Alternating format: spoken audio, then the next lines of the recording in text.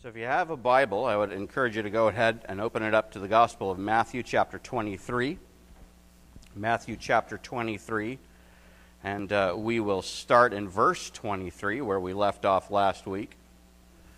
Matthew, chapter 23, starting in verse 23. So uh, we talked. We started last week this section where Jesus was pronouncing uh, woes upon the Pharisees and the scribes and his critics, his enemies, the people who were standing against him, trying to uh, undermine his ministry, trying to discredit him in the eyes of the people that Jesus is trying to help and trying to save. And uh, the, the woes, as we noted last week, are a very significant kind of prophetic curse that gets lobbed at the, uh, the Pharisees and Sadducees and scribes and all of the people who are present. And you'll remember that he had been engaging with them. And then when he begins the woes, they're still there. So he's not doing this distantly so that they can't hear it somewhere. He's doing this to their face. Right? He is, he is doing this to their face. He's pronouncing this prophetic woe, this prophetic curse upon them uh, to their face. And we got through the first three of the seven woes, and we'll uh, complete the last four today. So, and the big idea is very simple Jesus continues his prophetic pronouncement of woe against his enemies. So, nothing hugely surprising there, I think. But if you're following along in your sermon notes, your main point number one with your fill ins is this right here. Number one the enemies of Jesus receive the curse of woe because they misapply God's word. The enemies of Jesus receive the curse of woe because they misapply God's word. Now, they are the people who you would think would be the most studied in God's word, right? So, uh, in that time and that place, and still in some places this way today, these are the guys who would have the entirety of the Old Testament memorized. Okay? They should know it pretty well.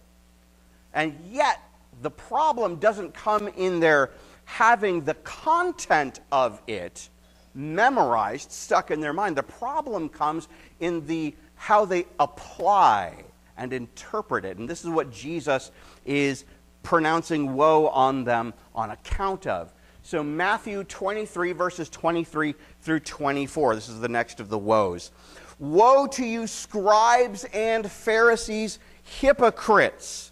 You tithe mint and dill and cumin and have neglected the weightier matters of the law justice and mercy and faithfulness. These you ought to have done without neglecting the others. You blind guides, straining out a gnat and swallowing a camel. That's a fun word picture, isn't it? And we'll get to exactly what he's talking about there, but let's go ahead and kind of work through this. So he says, Woe to you, scribes and Pharisees, you hypocrites, which is his common uh, statement of woe that's at the beginning of pretty much all of these seven woes. And the hypocrites, we talked about them. That's the, that's the word for actor or play actor, people who would wear a mask, who, who would be something else on the outside than what they actually were uh, in reality behind that mask. And that's the that's the accusation that Jesus is making that you guys are false, you're fake, you're phony, you're not real. You are presenting something to other people that you are not. That you are not. And so then he says, Woe to you, scribes and Pharisees, you hypocrites! You have, quote, neglected the weightier matters of the law.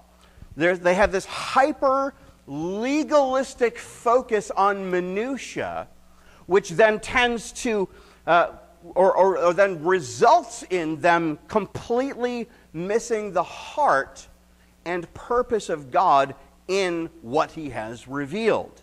Right? He says, You tithe mint and dill and cumin. You tithe out of your spice rack. You are so hyper vigilant about the tithe command that you go to your, uh, how much of this do we have? All right, we'll pour it out here. We'll measure it out. We'll cut out this much. Set that aside. Next one, do that over and over until, all right, let's take that. Now we'll tithe that. That's how hyper focused, according to Jesus, these people are in following particular parts of the law. He says, You're so hyper vigilantly focused on this minutia, but you have missed and neglected is the word he uses. You have neglected the weightier matters of the law. Now let's make a quick distinction here. When Jesus says there are weightier matters of the law, he's not saying there's bits of the law that are important and there's bits of the law that are unimportant. He's not saying that. He's saying, however, that there are primary things. There are first things. There are weighty, important things that are getting shoved aside in favor of things that are minutia. The, the things that are of not unimportance, but comparatively somewhat less importance. Because he doesn't say you shouldn't be doing the tithe thing and then doing this. He says, no, you should have been doing these other things while still following the rest of the law. Now, he might you might have a, a, talk with them at another time, perhaps, over whether or not, all right, should you really be like tithing your spice rack here? Is, is this what the, the intent of the law actually was? He may have had a different discussion with them on that point, but we don't have that in the text, so we don't, we don't camp there. But what we do have is Jesus coming along and saying, you guys are missing the whole point. You're, you're trying to do the particulars as particularly as you possibly can. At the same time, you're missing the whole heart of this thing. You are rejecting the heart of God, and this is the essential, what Jesus is getting at here. And, he, and then he defines what these weightier matters are. He actually lists three things justice, mercy, and faithfulness. Justice, mercy, and faithfulness. Now, what Jesus, I believe, is doing here is he's actually quoting an Old Testament prophet. He's quoting the prophet Micah. Micah chapter 6, verse 8. And it's got a slightly different feel, uh, perhaps here, than what, the way he puts it, but it's very, very similar. Micah 6, 8. He has told you, O man, what is good. What does the Lord require of you but to do justice, and to love kindness or mercy, some translations say, and to walk humbly with your God. Well, you can't walk in faithfulness if you're not walking humbly. So, justice, mercy, and faithfulness. These are essentially the same three things that Jesus makes note of in his accusation to the Pharisees that they are hypocritically not actually following the law. They're not doing what Micah has said this is what God requires of you. This is what God requires of you. Live this way. These are the outcomes of a life that truly follow God. And the Pharisees are absent them. The Pharisees are absent these qualities. And then he brings this word picture, this fascinating word picture, to conclude it. He says, You guys, you're straining out a gnat, but you're swallowing a camel. Now, with I got a fly trying to help me illustrate gnat. Awesome. Uh, so we have this picture. Now, why does why picking these two things? And, and sometimes the assumption has been, well, a gnat is very, very small, and a camel is very, very not they actually have something else in common in the Jewish law that is a larger part of the point. Both the gnat and the camel were considered unclean dietarily. So you're straining out a gnat, but you're swallowing a camel. Well, sometimes what they would do is if they had their beverage, their wine glass, or whatever, they would have a covering over it to keep gnats from flying into their drink and them perhaps accidentally swallowing it. They were straining out a gnat. They were straining out a gnat. They were, you're, you're, you're taking care to take care of this small problem, this small uncleanness, but the problem is the reality is that you're still participating in the uncleanness. You're still swallowing a camel. Now, they're not literally eating camel. The point that he's making here is that they're still not in compliance, actual compliance with the heart of God and his law. You don't, you don't do that and still say, well, I'm righteous, I'm faithful. Well, justice and mercy and faithfulness. These are the things that are actually absent from them. This is what Jesus is saying. And how do they get here? By misapplying God's word. They're saying, well, look, it's all about following all of these minutiae laws. I'm tithing my mint and my dill and my cumin. I'm, I'm tithing out of my spice rack. Look how dedicated I am to following this law. And, and Jesus says, You're missing the point. You're misapplying the law. The point of the law, the thing that the law was meant to drive people toward, was justice and mercy and faithfulness. And he says, You guys don't have that. That's not in you. And, you know, kind of to prove that, these are the guys who, like, go behind Jesus' back and get him crucified. There's no mercy in them. They're committing murder. That's kind of like one of the ten. That's no faithfulness. They are bringing an innocent man on charges later on. Well, that's not justice. So, justice, mercy, faithfulness these are the three major key things that these guys are all absent. And it all shows up in the crucifixion of Jesus because they're all in violation of all three of those as they participate in his death, as they contribute to his death. So, this is why when we talk about misapplying the Word of God and being serious students of the Word of God, it's number one, very important. And number two, it's not just about, well, I got to get the minutia down.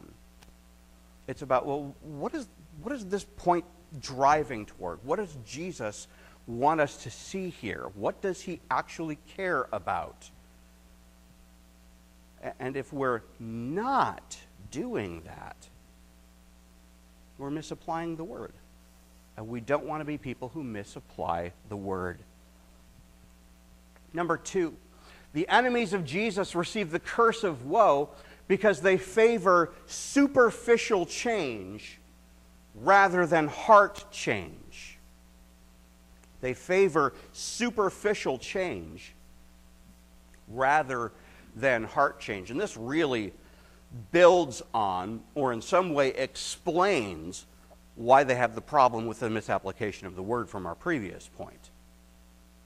Well, the reason that they don't apply the word appropriately is because they're simply interested in the superficial, the external. What is it? Does it look good? Rather than is the heart changed? And you'll notice how often Jesus talks about things like, well, the heart. You know, go back to the Sermon on the Mount. You have heard it said, do not murder. But if you hate your brother, perhaps you have murdered him in your heart. You have heard that it said, Do not look at a woman lustfully, or do not commit adultery. But if you look at a woman lustfully, you have committed adultery with her in your heart. What Jesus is coming to change is the heart problem, because that's where the, the root of sin is, from the control room of the person, the heart. Jesus comes to change that. But these guys are more about keeping the superficial than seeing the heart be changed. Matthew chapter 23, verses 25 through 26. Starting in verse 25.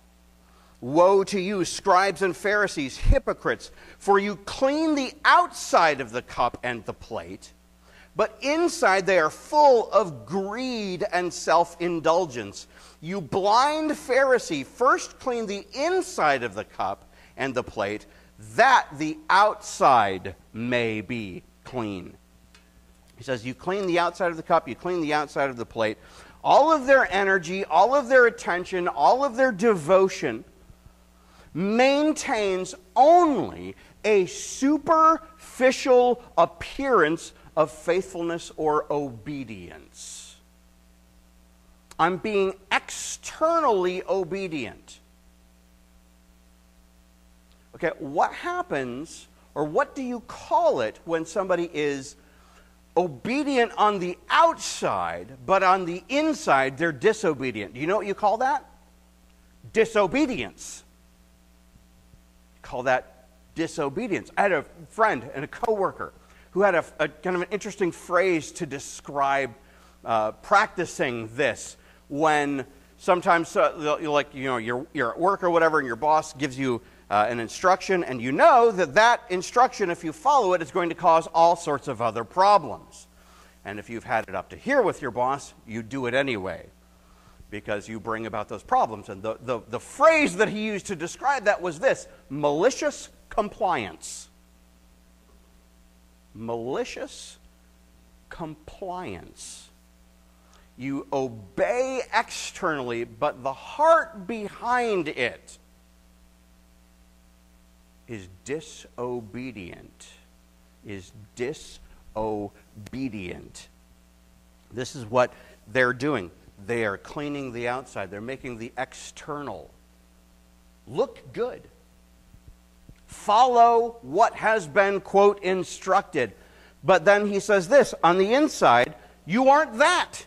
You are full of greed and self indulgence. The reality hidden behind the false front of obedience is completely self seeking.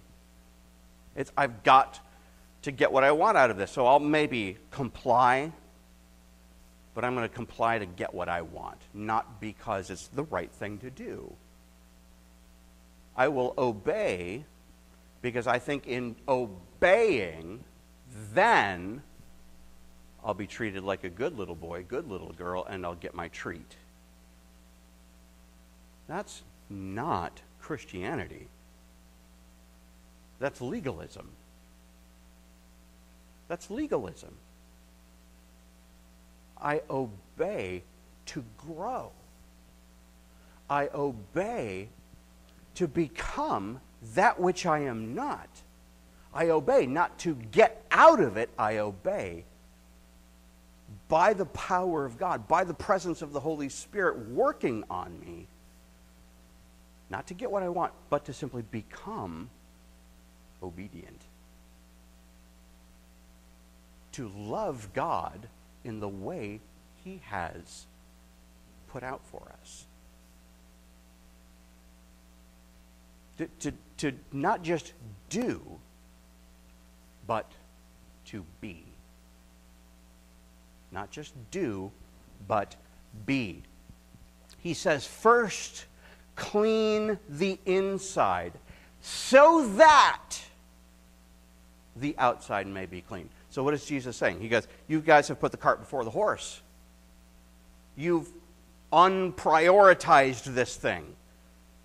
You have taken the external and worked on that, but left the internal a mess. You've left your heart in disarray while you have simply fixed up and polished the superficial.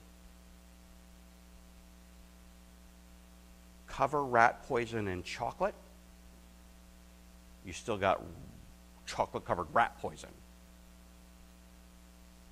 Let's change what's on the inside. Let's change what's on the inside. Let's do work with God in our heart so that we are not rat poison covered in chocolate, but so that we are the people God would have us to be. So that we are the people that God would have us to be. First, clean the inside, that the outside may also be clean. The clean exterior only means something if it truly reflects a heart that has been washed and is working with God rather than against Him. Let's not just be the exterior people, but let's be people whose hearts are changed. Let's work on our hearts with God, not just the, the exterior. Number three, the enemies of Jesus receive the curse of woe because their superficial righteousness deceives others. Right? So this is progressive here. Right? This is the next part of that progress is that you know, they misapply the word, and that misapplication leads to superficial rather than heart, and that superficial rather than heart then begins affecting other people. It's not just you anymore. And, and whenever you hear somebody trying to justify their sin or justify their wrongdoing or their wrong behavior, one of the things you will commonly hear people say is, well, it's not hurting anyone else. False. Because a, a bad change in your character will affect other people. Period. That's how it works. Because guess what? You got influence. There are people who look at you and look to you and if you're messed up on the inside, but not too bad looking on the outside in terms of being obedient or doing that which is looks good or looks right. We're not just talking about physical appearances here. We're talking about somebody who isn't what they portray themselves to be. It's going to have an effect and it will deceive someone else. It will deceive others. Matthew 23, verses 27 through 28. Starting in verse 27. Woe to you, scribes and Pharisees, hypocrites, for you are like whitewashed tombs, which outwardly appear beautiful, but within are full of dead people's bones and all uncleanness. So you also outwardly appear righteous to others, but within you are full of hypocrisy and lawlessness. You are like whitewashed tombs full of uncleanness. It's more than a heart that's just kind of like a little bit off. We're not talking about a little problem. Eh, this is, despite what the outside looks like, the entirety of it is still unclean it's still unclean. Jesus uses the picture of a hidden tomb in another one of the Gospels to describe somebody who stumbles over it and in their contact with it because of the law that says, don't touch the dead bodies, make themselves unclean. The problem with a whitewashed tomb is that it's something that looks pretty good. But the reality of it is that the people who come into contact with it are still influenced very poorly. Are still influenced very poorly. It's entirely unclean. Sin thoroughly corrupts. He says, You outwardly appear righteous. You are full, however, of hypocrisy and lawlessness. I'll stop for just a second with that word lawless, because that's actually a fairly important and weighty word here. Because one of the other times that Jesus uses that word is in his Sermon on the Mount, toward the conclusion in chapter 7, when he talks about people appearing before the judge of the universe on the last day. And it says, They will say to him, Lord, Lord, did we not prophesy in your name? Did we not do all of these really good things? And the response I never knew you. Depart from me, you workers of lawlessness. Lawlessness is a description of a person who is out of control in their unrighteousness. They're not just, well, that person's got a couple of problems. No, that person has major influence with their unrighteousness and it's affecting other people. Because notice what they say in the Matthew 7. Didn't we do all of these things? And they talk about helping other people. They've roped other people into it. They've brought in other people into their deceptiveness. They're affecting other people poorly. They're deceivers.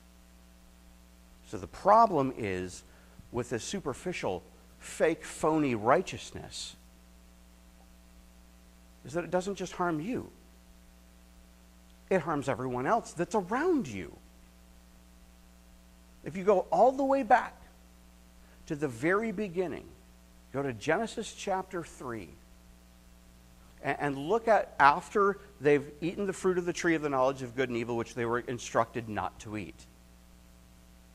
And then God is describing to them how not just they are affected, but how their relationships beyond themselves are affected. He says to Eve, Your desire will be for your husband, but he will rule over you. He says, This relationship is going to be very difficult now because of what you've chosen. It's not just you who, he says, you're going to have pain in childbearing, you're going to have these problems. But not only are you going to have problems, you're going to have problem with somebody else. And there's only one somebody else at that point. It's her husband. Which means their relationship is going to struggle. Hey, guys, have you ever argued with your wife? You're like, well, yeah, when I got up this morning, I, yeah, right? Like it's a, it just happens sometimes. You're like, what happened? Where did that come from? Because this is what sin does. It affects not only us, but it affects those who are around us. To Adam, Adam, he says, all right, you are going to have this, you know, this pro- all of these problems, but he says, and then there's your work. By the sweat of your brow you will eat your bread. And the, nat- the, the ground will produce thorns and thistles, and it'll be harder for you to do your work. And he's uh, obviously, uh, we're talking agricultural here. But it, it, it, it develops, it cultivates, it grows beyond that, because that was the original command cultivate the earth. We call that the cultural mandate, which also includes create culture. But what happens when you create culture? When you add more people to the mix? Well, guess what? When you put one sinner with one sinner, you got two sinners. When you put a hundred sinners with a hundred sinners, what do you got? All kinds of nuttiness. It just, it compounds. It gets worse and worse and worse. Which, my man, maybe we just, I don't need a savior need somebody to deal with this. And so Jesus comes to deal with it. Not just so that you can go to heaven when you die, but so that that which is broken can begin to be repaired. Jesus cares about more than just the geographical location of your soul in the universe. He wants to repair that which is broken in us. That's why we have this daily process in the Bible called sanctification. That we can grow every day. We can change every day. We can take steps forward. We can actually become more and more holy. That's why Jesus gave us the Holy Spirit to indwell us part of it was that's where sanctification comes. The word sanctu, that's making holy. The Holy Spirit is what makes us holy. We need the Holy Spirit. We need each other also. That's why we have all of the one another commands in the Bible. There seems to be several of those. We ought to pay attention to those. He says, you, though you're whitewashed tombs. And then he says this, you know, others are, are seeing this and they're being deceived. They, others will look at you, and so others are getting roped into this. And this is what Paul says in uh, 2 Timothy chapter 3. 2 Timothy chapter 3, verses 1 through 5. But understand this that in the last days there will come times of difficulty, for people will be lovers of self, lovers of money, proud, arrogant, abusive, disobedient to their parents, ungrateful, unholy, heartless, unappeasable, slanderous, without self control, brutal, not loving good, treacherous, reckless, swollen with conceit lovers of pleasure rather than lovers of God. And verse 5 is what I really want us to notice here. Having the appearance of godliness, but denying its power. Now, stop for just a second. That whole huge list that he just went through lovers of self, lovers of money, disobedient, heartless, unappeasable, uh, ungrateful, unholy, all of that. They're the people he just described as having an appearance of godliness. Well, how can you be that and appear godly? Pharisees didn't seem to have trouble with it. That's why he called them hypocrites. That's why he called them actors.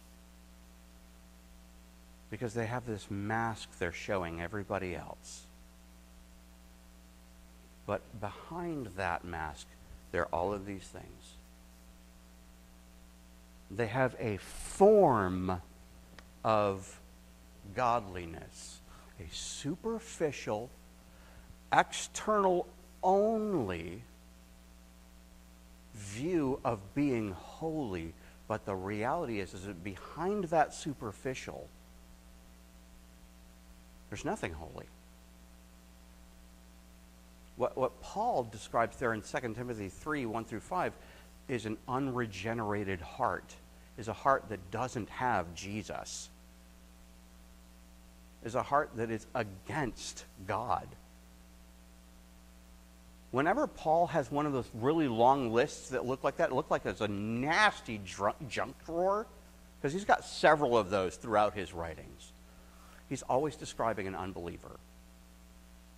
But here, he's describing an unbeliever who is presenting themselves as a believer, which is what Jesus says going back to Matthew chapter 7. Many will say to me on that day, Lord, Lord, did we not? But I will say to you, Depart from me, you workers of lawlessness. And he, just previous to that, describes them as wolves in sheep's clothing. Oh, they look like sheep, but underneath they're ravenous wolves. Paul does the same thing in uh, Acts chapter 20. He describes it very similarly. So that's the problem. That's the problem. That misapplying the word that looks like it's just one little problem in that first woe that we've covered today, that's a signal of something way bigger. It's a signal of something far larger. Number four, our last one. The enemies of Jesus receive the curse of woe because they will be responsible for persecuting God's true people.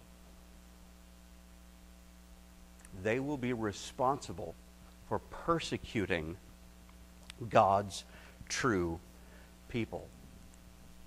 Verses 29 through 36. Matthew chapter 23, starting in verse 29.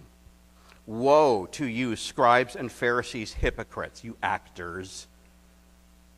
For you build the tombs of the prophets and decorate the monuments of the righteous, saying, If we had lived in the days of our fathers, we would not have taken part with them in shedding the blood of the prophets. Thus you witnessed against yourself selves that you are sons of those who murdered the prophets. You fill up, then, the measure of your fathers. You serpents, you brood of vipers, how are you to escape being sentenced to hell?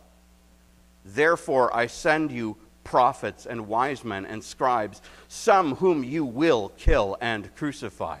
And some you will flog in your synagogues and persecute from town to town, so that on you may come all the righteous blood shed on earth, from the blood of the righteous Abel to the blood of Zechariah, the son of Berechiah, whom you murdered between the sanctuary and the altar. Truly, I say to you, all these things will come upon this generation. He says, You guys, you say, if we had only been there, talking about the prophets, the, in the days of the prophets, and the prophets were not treated well. Now, go read Hebrews, go read the books of the prophets, go read the Old Testament. When a real prophet of God shows up, that prophet usually incurs a touch of trouble. And persecution against them happens. And you guys say, he says to them, Well, if I had been there, I would not have done that. We wouldn't have done what our fathers did. And Jesus' response to that is very simple. Yeah, wrong. You absolutely would have. And you know how Jesus knows? First of all, he knows because he's Jesus right? And he just seems to know this stuff because he's God in human flesh and he's got access to knowledge. Second of all, because he knows what they're going to do to him. He's fully aware of it. He's not surprised by that. Whenever you, you kind of see moments in some of the Gospels, it says things like, He knew what was in their hearts usually around a time when somebody's pretty darn angry at him and like grumpy, bitter, you know, all of these. This is a description of these people. And he says, Look, you guys, you would have done that. He says, You witness against yourself by saying that they are your fathers. Well, you're going you, they, you are their children. You are the heir of their perspective and you do the things that they do. An arrogant and boastful, or this is an arrogant boast of personal greatness. We would not have done these things. Jesus schools them by pointing out the family resemblance to their, quote, forefathers. Then he says to them, I will send you prophets, I will send you wise men, I will send you scribes. And why is he going to do that? In part, he's doing it to prove his point. In part, he's doing it because the world needs to hear. And he says, I'm going to send them to you, and some of them you're going to kill. Some of them you're going to flog in your synagogues. You're going to have them whipped. Some of them you're going to drive out of your towns because this is who you are. Jesus will further prove it by the way his messengers will be treated after him. Which, you know, if, if you're a real follower of Jesus Christ, doesn't that make you just like a little bit nervous? it's like, hmm.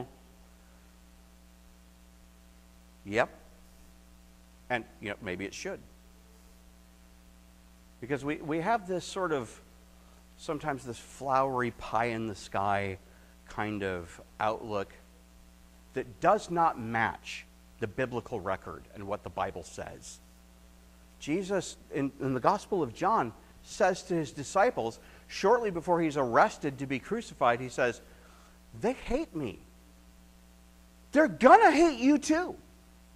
They're going to hate you on account of me.